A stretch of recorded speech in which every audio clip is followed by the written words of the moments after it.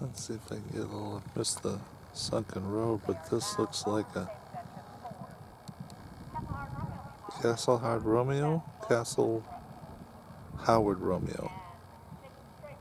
And Leslie Grant Law, Open Training, Part 2.